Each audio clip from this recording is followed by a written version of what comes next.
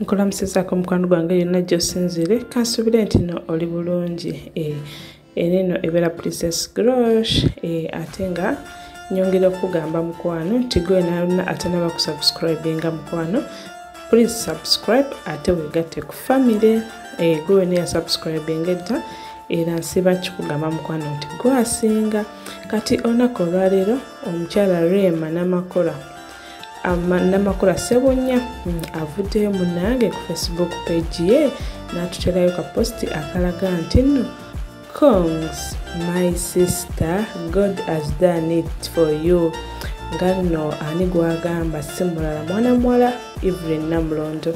Eh, naku ka vidiyo koolabaawo ke kaliko ng'alaga nti evelyn namulondo bamukubye embaga. eh, anno ba innos bavuddeyo bangi ne bagamba nti nedda nedda nedda.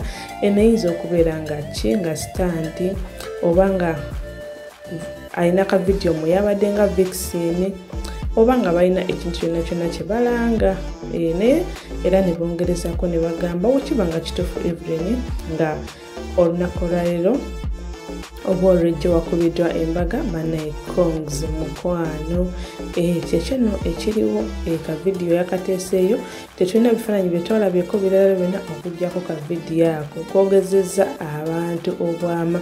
Era nga ye vidiyo emu kuzisinze okutrendinga olunaku olwaleero.